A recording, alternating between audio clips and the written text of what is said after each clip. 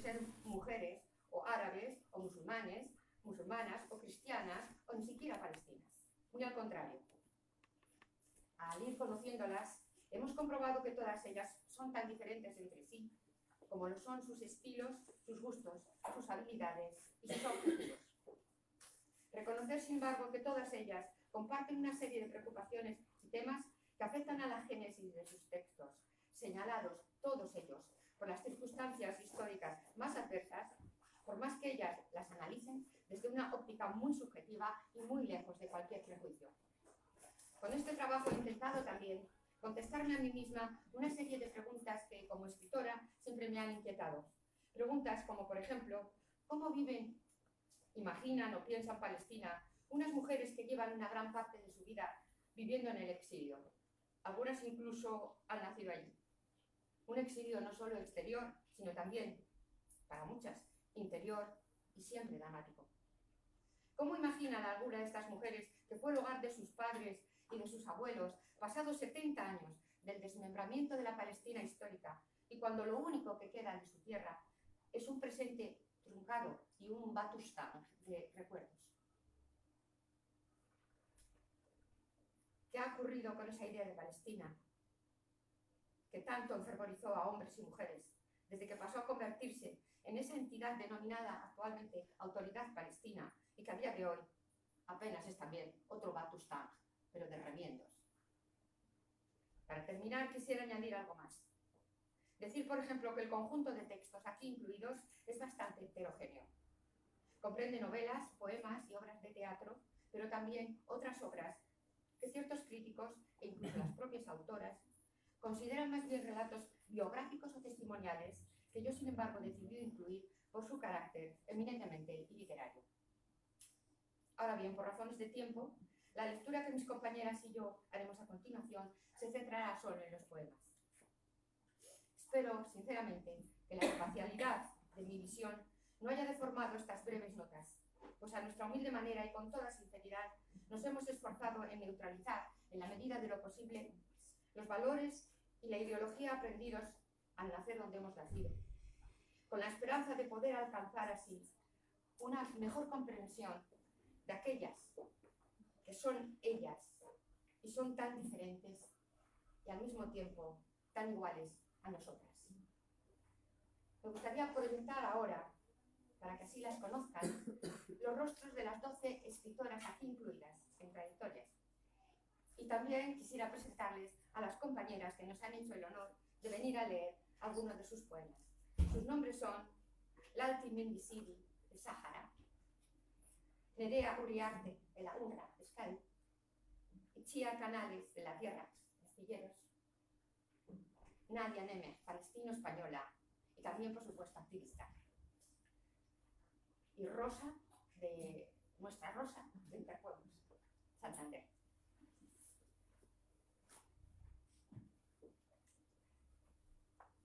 Bishara, nacida en la ciudad de Tamur, al norte de Palestina, licenciada en literatura por la Universidad de Nablus, empieza a publicar en el 2005, actualmente vive y trabaja en Palestina.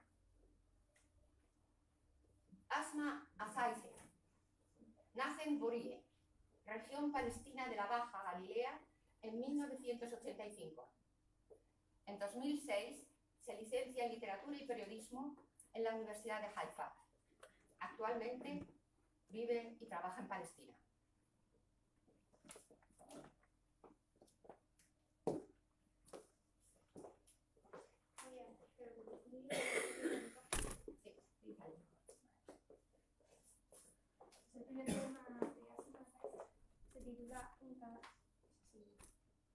Eh, un cadáver en Ramala. Ramala es una tierra seca y yo un pez en busca de un agua útero. Pero ahora ni siquiera sé quién soy. ¿Acaso la vieja lo voz de una mujer? Si, si al menos hubiese nacido hombre. Qué hermoso mirar de pie sobre mis emociones antes de ir a la cama. Pero aquí no hay viento alguno que me haga cambiar a sonreír. Solo el sol quemando mis labios. Eh, perdón, eh,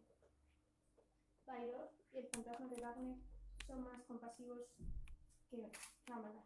más incluso que mi propio fantasma. Este es el primero.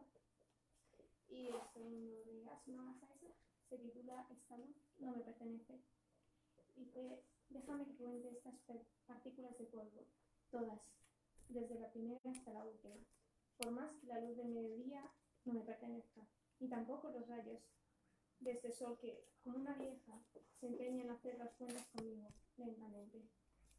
Aquellos que dejaron por sí el polvo que recubre mis zapatos, gastados de tanto agonía perdida, descubren con eso las grietas que recorren el muro e intentan ordeñar los rayos. Igual que esos pastores que durante la sequía se cobijan durante la noche debajo de sus, de sus animales. El mismo sol, sí, que ilumina la frente del, del leñador que cuartea mi mente con su hacha. Yo, sin embargo, nada tengo que ver con esa luz. Es la oscuridad que me lleva al instante, eh, al instante en que por fin haré pedazos el hacha del leñador para poder seguir contando lentamente.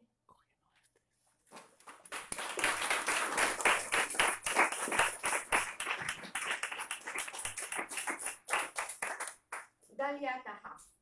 Nace en Berlín en 1986. A la edad de cuatro años regresa con sus padres a Ramallah. Estudia arquitectura en la Universidad de Birzeit y empieza a publicar en el año 2010. Creo que hay alguien por aquí.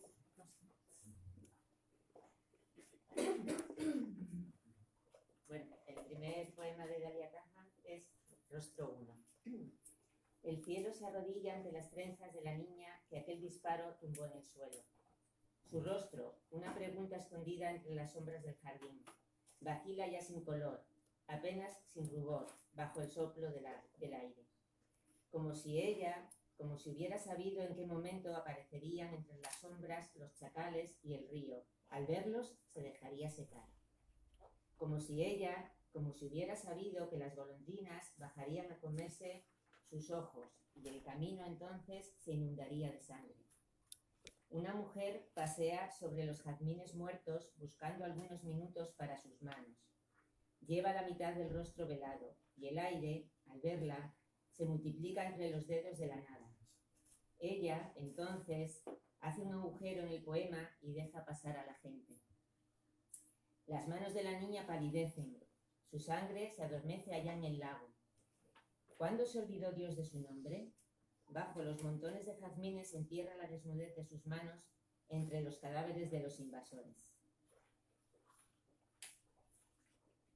El segundo poema es un pasado.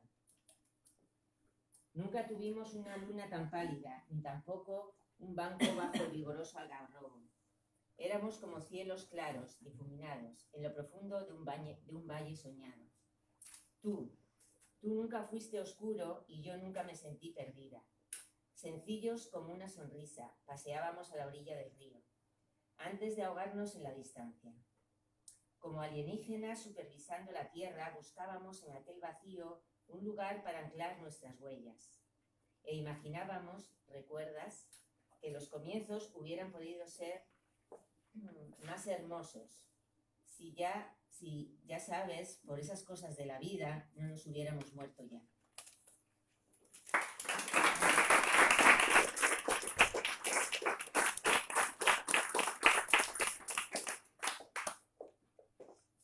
Guerra.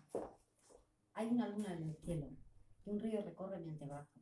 Hoy Berlín es inmenso y descreído. Conozco a un extranjero que no ha estado nunca en el desierto, por más que siempre haya querido sumergirse en su blancura. En esta ciudad, Berlín, la nieve se ha vuelto negra y los jardines se ahogan, al dejar atrás las sombras de esos niños muertos por metralla. En Gaza, sin ir más lejos, sus pequeños cuerpos intentan sacar la mano de entre los escombros y poder así saludar a Dios. Oh, claro, aquí todo recuerda las huellas de esa guerra, unas huellas que sabemos que no se malbaratan, que más bien sanan al llegar al cielo de un poema y nos hacen olvidar. La guerra que asola nuestra tierra, igual que una alfombra tendida sobre este sendero cuerpo. El extranjero no sabe, todavía no, no lo sabe, cuánto me recuerda a alguien que cayó por una bala perdida, o cuán poco, porque al final ya se sabe, solo las moscas se acuerdan de los héroes. Sí, aquí todo muere, lentamente, antes de convertirse en río. mientras el extranjero y yo atravesamos el puente que culebrea allá abajo. En el horizonte, los cipreses y balcones parecen suicidarse. Hubiera podido quizás olvidar mi mano dentro de la suya, robar un exilio.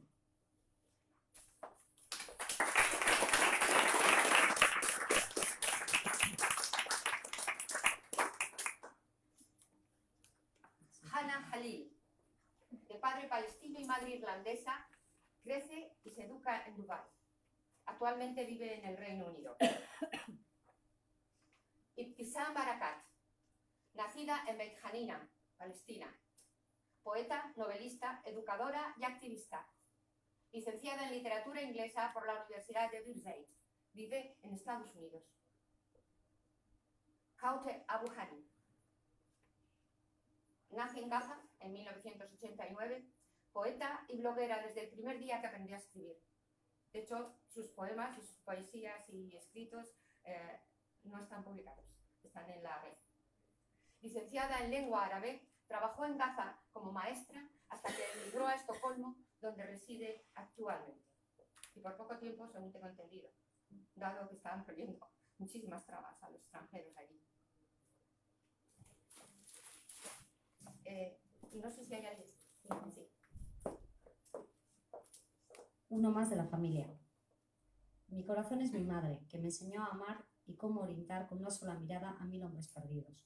Mi corazón es mi madre, cuyo rostro resplandecía indignado si llegábamos tarde a casa.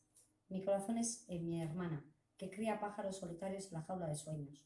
Mi corazón es mi hermana, que pasa el día buscando películas pornográficas en una ciudad desenfrenada que solo piensa en matar. Mi corazón eres tú, sembrado en la tierra de mi cuerpo, florecido hasta convertirse en uno más de la familia.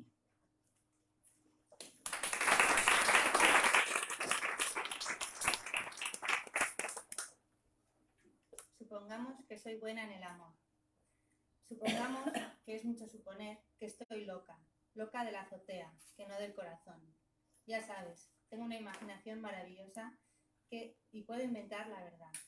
Una verdad que es más verdad que la verdad más verdadera. Es una vieja costumbre. Supongamos también que mi edad biológica es veintipico años, mi pelo rizado y que tengo una larga nariz larga y una peca cerca de mi boca. En mi cabeza un árbol de besos. Supongamos que cuando en Beirut empezó a llover, yo cerré las ventanas y quise desdibujarme. Supongamos, que es mucho suponer, que soy buena en el amor. Situaciones pasajeras. A veces, creo, me parezco mucho a ti. Me pongo delante del espejo, contemplo mi rostro y descubro que mi boca recuerda la forma de la tuya. A veces, olvido dónde está mi mano. Busco dentro de mi bolso y pregunto al taxista si sabe dónde está.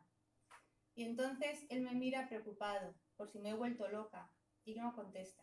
Incluso se niega a cobrarme. A veces cuento la misma historia a la misma persona y la repito más de dos veces toda entera. A veces hablo sola para no olvidar el sonido de mi voz. A veces me odio por echarte tanto de menos y por un rato vuelvo a ser enemiga del amor. A veces me quedo sin nombre y dejo que me llamen con el nombre de tu familia. A veces me peleo por la leche con mi gata. Escucho hablar a los árboles. Pienso en todo lo que, me, lo que parece imposible. Lloro cuando escribo porque me siento y estoy enferma de escritura. Duermo con los calcetines puestos y me estrecho los jeans. Tomo café con un desconocido y siento pena de estar tan sana. O me adormezco con tus historias, con tu nombre en la cubierta de mi libro. Y es que, ¿sabes? Necesito con urgencia un cepelín que me lleve hasta ti. Morir de una muerte dulce y larga sobre tu pecho. A veces, ya te digo, me pierdo en este laberinto de palabras. A veces, solo a veces.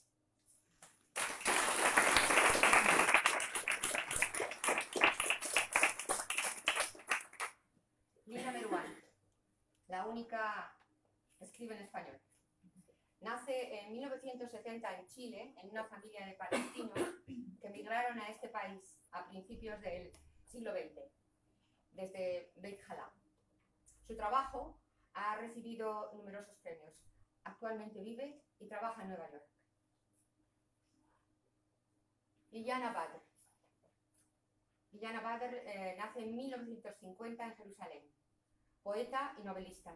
Ha dedicado toda su vida a trabajar por la causa palestina. Vive y escribe en Ramallah. Maya Abul Hayat. Nace en Líbano en 1982. Licenciada en Ingeniería por la Universidad de Al-Najah en Nablus en el 2003. Poeta, empieza a publicar ese mismo año. Vive y trabaja en Ramallah.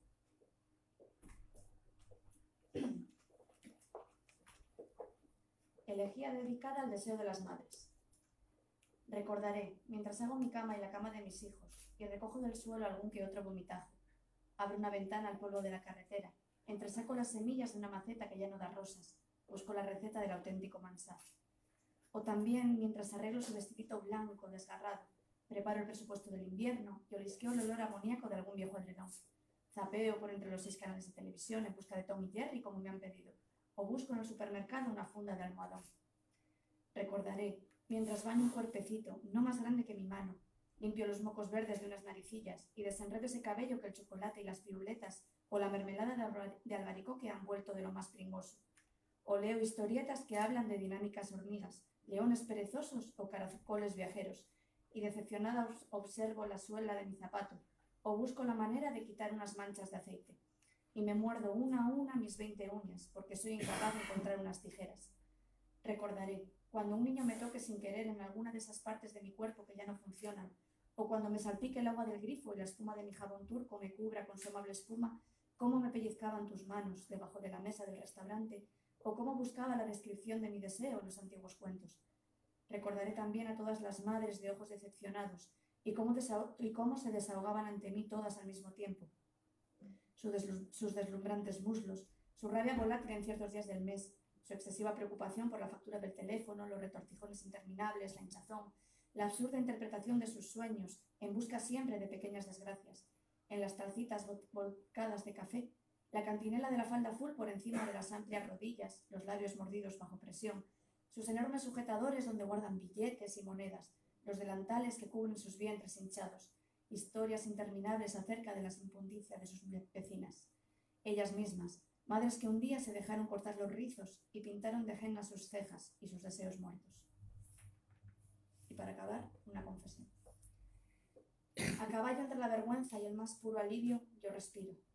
Porque esta vez fallaron los misiles, aunque no del todo. Alguien perdió su casa, aunque no la que también conozco. Alguien llorará sus muertos, que no serán los míos, cuyo nombre repito aliviada mientras respiro. Yo respiro. Mientras me digo a mí misma que esa carne rota, pulverizada, no es la misma carne que yo he acariciado tantas veces, o que esas pequeñas manos, ahora ya sin vida, tampoco son las manos que dibujé a lapicero un día. Y respiro, yo respiro. Porque los misiles fallaron esta vez, sin conseguir dar en el blanco, sin acabar con aquellos cuyos nombres llevo tatuados en los labios, y esta vez, al menos por esta vez, sus corazones siguen latiendo en mi pecho. Y ellos viven, están vivos, mientras yo respiro, respiro.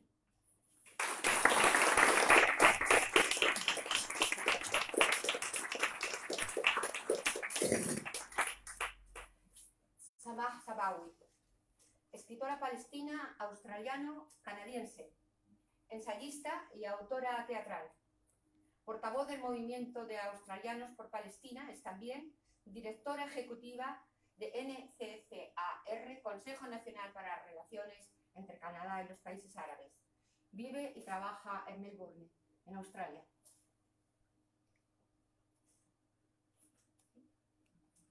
Selma Dabach. Selma Dabach nace en Escocia en 1970. Publica su primera novela, Out of It, en el 2011. Actualmente trabaja como profesora de escritura creativa en distintas universidades de Inglaterra y del Oriente Medio.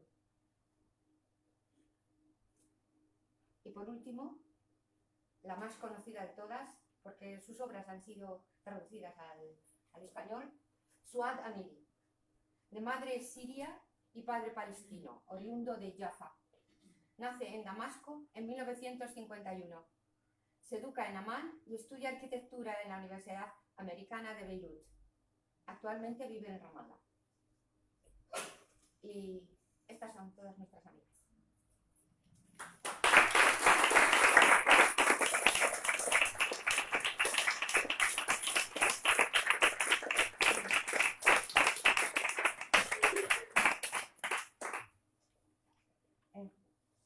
Eh, Yo no tenía nada más preparado para decir, pero vamos, si quieren ustedes hacerme alguna pregunta, estaré encantada de responderles.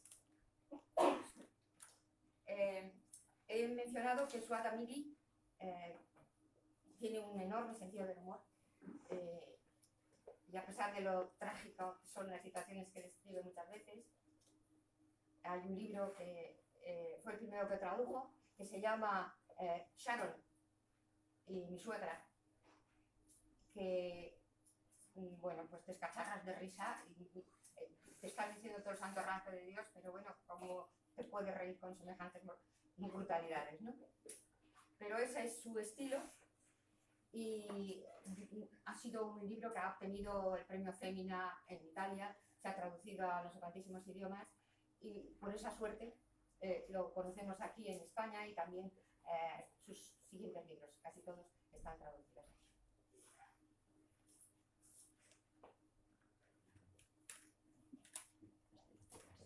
si tenéis alguna cosita. Si no, yo soy la de los recordatorios. Aquí está el libro. Tenéis con todas las autoras, con las entrevistas para profundizar también en, en lo que escriben, en sus vidas y con los textos que no hemos podido leer aquí, por lo que decía Pilar, por largos, pero como una pequeña introducción también a lo que es su obra, ¿no? Entonces, empezar a conocerlas por ahí para, por supuesto, seguirlas después, por las que estén en castellano y las que puedan leerlas en inglés, en inglés, entonces habrá opción. O en las redes, en realidad, la que me tiene publicado.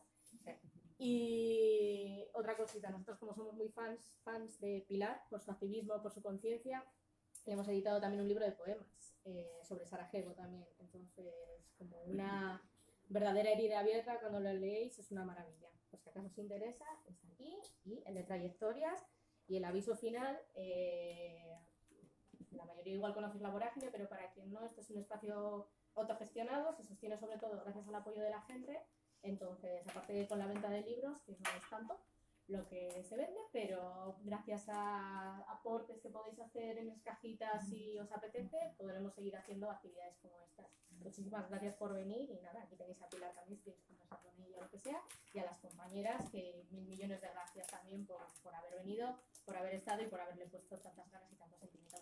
Gracias.